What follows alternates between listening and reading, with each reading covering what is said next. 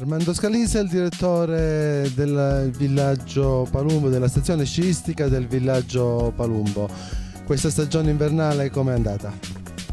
Beh, buonasera innanzitutto, una fantastica stagione invernale, anche se è cominciata tardi, ma un febbraio che erano anni che non, non faceva tanta neve naturale e quindi una stagione eccezionale dove ha visto principalmente riversarsi qui in Calabria tutta la Sicilia e la Puglia, tutto extra regione a partire dagli alberghi che non hanno avuto un posto per tutto febbraio, quindi la richiesta è eccezionale, mai, mai, mai, mai come quest'anno.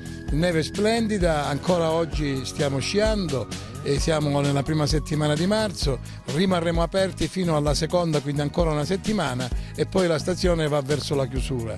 L'unica pecca è che purtroppo come Villaggio Palumbo, come provincia di Crotone, è rimasto solo un impianto di risalita, quello che è alle mie spalle, una seggiovia triposto.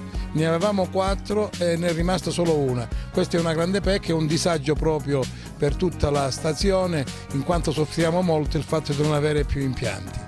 Ehm, l'altra cosa che devo comunicare, quindi quasi un messaggio, la stazione con con questa stagione invernale cesserà la sua vita, eh, la società che rappresento lascia gli impianti e lascia gli impianti con la speranza che diventano pubblici come quello di Lorica, Camigliatella e Gambari, che verranno gestiti da Ferrovie della Calabria. E quest'anno ad agosto chiuderemo totalmente la stazione e se non interviene il comune di Cotroneo, la provincia o la regione, questo impianto per la prossima stagione invernale rimarrà chiuso.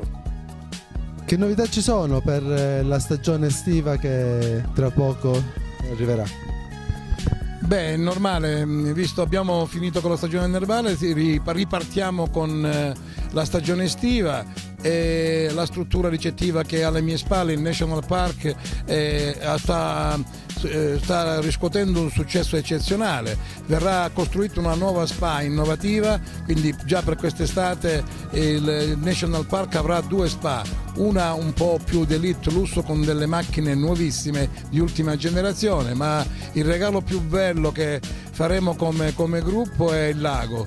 Il lago eh, che mh, vivrà quasi tutto l'anno, continua a vivere tutto l'anno anche con la neve, è in arrivo il grande battello eh, taglia ghiaccio, quindi arriverà ad aprile una barca che porterà eh, almeno 30 persone in giro per il lago e anche sulla nostra isola, così che la chiamiamo l'isola dei pirati dall'altra parte del lago e in più le barche elettriche, la, l'innovazione del, di tutto quello che eh, sono le imbarcazioni, le ultime generazioni, il pontile sul lago e poi una piscina eh, bellissima che eh, verrà inaugurata sicuramente per luglio, per la stagione estiva. Queste sono le novità insieme a quella che è la pista di bob d'acciaio, ancora unica per il suo genere in Italia, le piste di bob che primeggiano ancora anche per una, per una sola volta per quest'estate, quindi per l'ultima stagione estiva. Grazie.